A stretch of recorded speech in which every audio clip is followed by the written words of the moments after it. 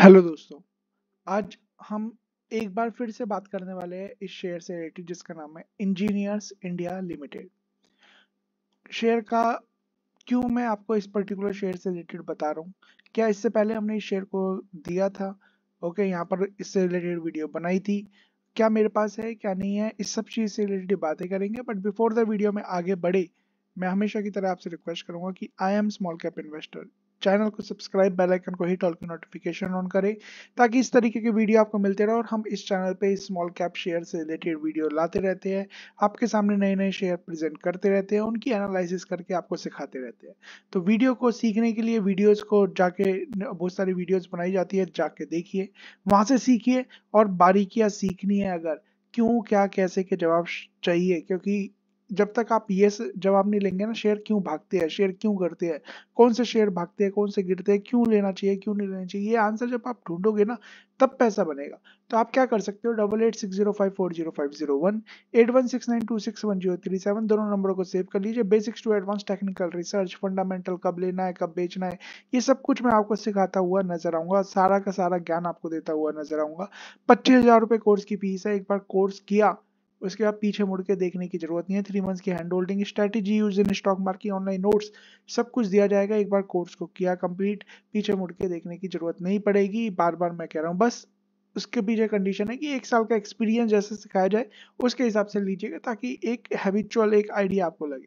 बाकी अगर किसी को काम करना है पोर्टफोलियो साइज़ थोड़ा सा बड़ा है ओके या नहीं भी है तो यहाँ पर आप एक बार कांटेक्ट करिए। Double eight six zero five four zero five zero one eight one six nine two six one zero three seven आपको चार्जेस कुछ नहीं है। यहाँ पर एक बार बात करने के आप बात करेंगे तो हम उसके रिलेटेड बातें कर सकते हैं। तो हम जिस शेयर से रिलेटेड बात कर रहे हैं, उसका नाम है इंजीनियर्स इंडिया क्या इससे पहले शेयर से रिलेटेड बातें करिए तो एक बार देख लेते हैं तो यहाँ पर आप जाएँगे।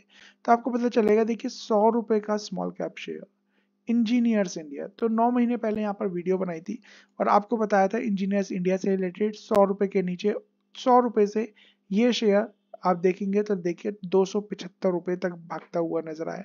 अच्छे खासे, ठीक है लगभग लगभग एक सौ पचहत्तर परसेंट के रिटर्न उस पर्टिकुलर पॉइंट से बनते हुए नज़र आए। क्या उससे पहले ही बताया था? डेफिनेटली बताया था। यहाँ देखिए इंजीनियर्स इंडिया है ना? सात महीने पहले भी ये वीडियो बनाई थी, तब भी बताया था, ठीक है? और फिर उसके बाद आप देखेंगे, और तो भी यहाँ पर इंजीनियर्स और इंजीनियर्स इंडिया से रिलेटेड एक दो बार वीडियो हमने यहाँ पर मतलब बनाई है। तो जाके एक बार वीडियोस को देखिए। आई बटन पर लिंक दूँगा तो एक बार देख लीजिएगा चेक कर लीजिएगा। तो वहाँ से किस तरीके से मैंने स्टॉक्स को पकड़ा नीचे के भाव पे और उसके बाद दो तक लगातार भागता हुआ नज़र आया, पैसे बनते हुए नज़र आए। तो उसी चीज़ को मैं अपने कोर्स में सिखाता हूँ। आगे बढ़ते तो यहाँ देखिए स्टैब्लिश 1986 1965 में बनी थी ये कंपनी ठीक है? और is leading global engineering consultancy and EPC company own by the government है ना? Of India and operating under the administration control of the Ministry of the Petroleum, Natural Gas, EIL, primary provides engineers consult, uh, consultancy and EPC service focus on oil and gas and petrochemical industries. तो petrochemical और oil gas से related जितनी ये industry है उनको ये कंसल्टेंस करते हुए नज़र आते हैं। गवर्नमेंट ऑफ़ इंडिया की ये कंपनी है, ठीक है? मतलब प्रेसिडेंट ऑफ़ इंडिया की कंपनी है और एज इट इज़ शेयर बने हुए हैं। एफ़ आई की बात करें तो देखिए अच्छी खासी होल्डिंग भी है। डी की बात करें तो यहाँ पहले हिस्सेदारी यहाँ पर लगातार कम होती हुई नज़र आई है। थोड़ी सी नेगेटिव बात है बट इसके अगेंस्ट में यहाँ पर आज का शेयर आप बाज़ार किसकी वजह से चल रहा है? रिटेल की वजह से चल रहा है। डी आई की वजह से नहीं चल रहा है। तो देखिए आप अभी भी यहाँ पर देखेंगे तो अब अगर मैं कहूँ कि अगर इनका अब मतलब नहीं बन रहा तो उसे भी यहाँ पर दौड़ाना सही ही होगा, ठीक है ना? तो पब्लिक के पास लगभग ट्वेंटी फाइव परसेंट के शेयर है। डिसेंट शेयर होल्डिंग पैटर्न है। यहाँ पर आप देखिए बाइंग सेलिंग होती रहती है ब्लॉक डील्स यहाँ पर देख सकते हैं, ठीक है ना? यहाँ पर कौन बेच रहा है, कौन खरीद रहा है, यहाँ देख सकते हैं कि डी डीएसपी ट्रस्टी ये जो कंपनी है, इन्होंने यहाँ पर लगभग इतने शेयर बेचे हैं। है ना? एलआईसी ने यहाँ पर दो बार शेयर तेईस नवंबर 2023 को निकालते हुए नज़र आए। इससे पहले 26 मई 2023 को डीएसपी ने लगभग सत्तावन लाख शेयर खरीदे थे उनमें से थोड़े से शेयर ना के बराबर बेचते हुए नज़र आए। तो इस चीज़ को आपको देखना बाई बैक ऑफ़र भी आता हुआ नज़र आया। तो वो आप यहाँ पर देख सकते हैं कि कौन यहाँ पर खरीद रहा है, कौन बेच रहा है। ठीक है? तो आगे बढ़ते हैं और जानते हैं और इस कंपनी से रिलेटेड तो यहाँ पर इनकी वेबसाइट पर विज़िट कर लीजिए। तो इनके बिज़नेस मॉडल से रिलेटेड भी आपको एक पूरा का पूरा आइडिया लग जाएगा। इनके प्रोजेक्ट से रिलेटेड आपको पता चल जाएगी। है ना? सेगमेंट मैं आपको बता चुका हूँ। ऑयल गैस से रिलेटेड जितने भी सेगमेंट है, उसमें ये कंपनी काम करती है। और इंडिया में ही नहीं ओवरसीज लोकेशन में भी ये कंपनी काम करती हुई नज़र आती है, अच्छी खासी कंपनी है। ओके यहाँ पर और जानना है तो यहाँ पर जाके एक बार पढ़ सकते हैं। इनके नोट्स है ट्रांसक्रिप्ट है पीपीटी है, यहाँ पर डॉक्यूमेंट्स में जाएँगे स्क्रीनर पे तो आपको यहाँ पर समझ में आ जाएगा। कंपनी की बात करें, दस हज़ार छह सौ ग्यारह करोड़ रुपए की कंपनी है स्मॉल कैप कंपनी है, और हम बार बार स्मॉल कैप शेयर ही आपके सामने लाते हैं। क्यों लाते हैं स्मॉल कैप देखिए स्मॉल कैप में डर तो रहता ही ऑब्वियस सी बात है। जब गिरता है तो इसी तरीके से गिरता हुआ नज़र आता है बट जब भागता है तो इस तरीके से भी भागता है, इस चीज़ को हमेशा याद रखिएगा। बीस का पी है इंडस्ट्री का पी पैंतीस का है तो सस्ता नज़र आता है, ठीक है। पाँच का फेस वैल्यू है, और डिविडेंड भी कंपनी देती है। डेट फ्री शेयर है पॉजिटिव चीज़ यहाँ पर है, ठीक है। और आप देखेंगे इंडस्ट्री से सस्ता मिलता हुआ नज़र आ रहा है। तो चीप स्टॉक्स है ओके बट स्टिल मैं हमेशा कहता हूँ पी के बेस पे कभी काम नहीं करना चाहिए।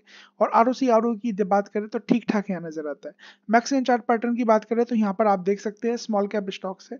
तो लॉन्ग टर्म का कोई विजन बनाना मत, ठीक है? अब ये मत सोचना कि ये लॉन्ग टर्म के विजन से है। क्यों? क्योंकि ये जो चार्ट पैटर्न दिखा रहा है ना, ये दिखा रहा है कि भागता है तो ज़बरदस्त भागता है, इसमें कोई दोहराए वाली बात नहीं है कि तीस रुपए वाला स्टॉक ढाई सौ, तीन सौ तक हो जाता है। और जब गिरता है तो वो छीन भी लेता है उसी तरीके से। तो सही टाइम पे निकलना और रखना, वो एक कला है, वो यहाँ पर हम अपने कोर्स में सिखाते हैं तो इस चीज़ को यहाँ पर आप ज्वाइन कर सकते हो, देख सकते हो। यहाँ पर बात करें क्वार्टरली बेस पे तो क्वार्टरली बेस में यहाँ पर आप देख सकते हो, लगातार कंपनी परफॉर्म कर रही है। कुछ ऐसा एक्स्ट्रॉर्डिनरी काम नहीं कर रही बट स्टिल कंपनी हम देखें तो ठीक ठाक यहाँ पर कंपनी की सेल्स हो रही है। बात करें ऑपरेटिंग प्रॉफिट की तो लगभग हमेशा ही कंपनी प्रॉफिट में रही है। मार्जिन की बात करें तो कंपनी के मार्जिन यहाँ पर छः परसेंट के आसपास आते हुए दिखाई दिए। बीच में अच्छे खासे मार्जिन भी आ रहे थे। और बात करें कंपनी का नेट प्रॉफिट तो कंपनी का नेट प्रॉफिट अभी भी ईयरली बेस पर आप काउंट करोगे तो अच्छा खासा यहाँ पर दिखाई देता है। ठीक है? तो नेक्स्ट क्वार्टर थोड़ा सा चैलेंजिंग हो सकता है, क्योंकि यहाँ पर आप देखोगे कंपनी लगभग अच्छा खासा प्रॉफिट में बैठी हुई थी। ठीक है? तो इसे भी हमें ध्यान में रखना है। ईयरली बेस पे बात करें कंपनी का परफॉर्मेंस फ्लैट ही नज़र आया है। ठीक है? पहले बीच में गिरता हुआ नज़र आया था, फिर इसके भागता हुआ नज़र आया है। ठीक है? तो अपसाइड डाउन आते रहते हैं, इसलिए चार्ट भी आप देखोगे तो इसी तरीके से बिहेव करता हुआ नज़र आता है। कंपनी बट स्टिल हमेशा पॉजिटिव में रही है इस चीज़ को भी यहाँ पर देखना है। रिज़र्व की बात करें, यहाँ पर कंपनी के रिज़र्व लगभग अठारह सौ करोड़ के आसपास के हैं। बोरोइंग ना के बराबर है कंपनी की, एक इसकी पॉजिटिव बात है। क्यों?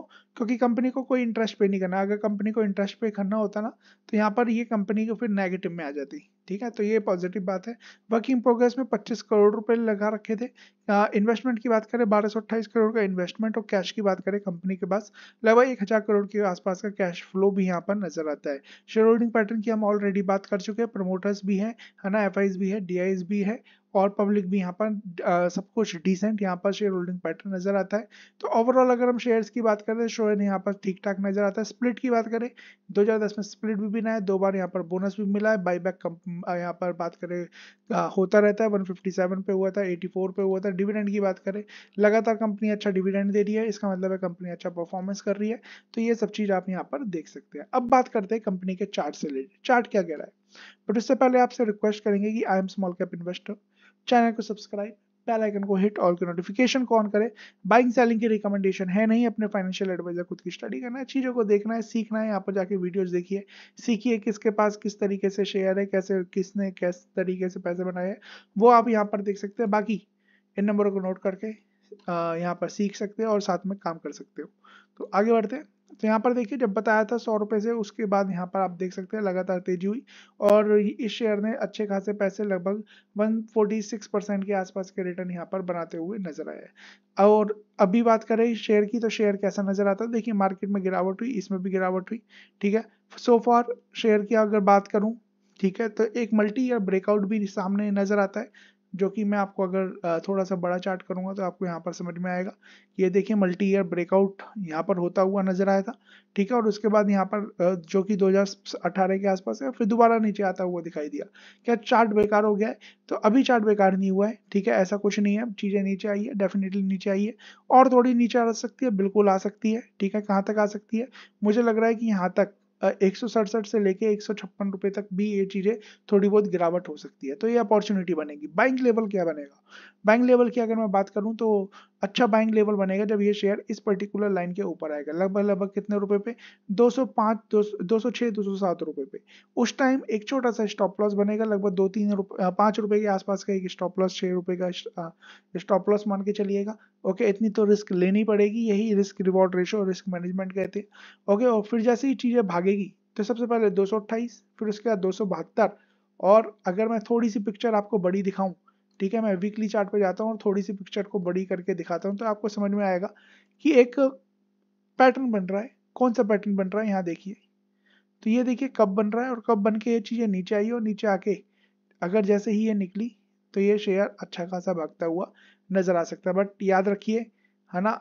बेशक से इस तरीके से यहाँ पर चार्ट पैटर्न बढ़िया दिखाई दे रहा है, ठीक है? ब्रेकआउट होने पर ही इस तरीके का परफॉर्मेंस हो सकता है, जो मैं आपको यहाँ पर दिखा रहा हूँ। और ज़्यादा एंटिसिपेट नहीं करना है। और जैसे कि मैंने बात करी है कि अगले क्वार्टर के नंबर्स थोड़े से चैलेंजेस हो सकते हैं। और अगर ऐसा होता है तो शेयर फिर और भी ज़्यादा गिरता हुआ भी नज़र आ सकता है। तो हर तरीके के लिए तैयार रहना है। ठीक है, एक पे शेयर चल रहा है।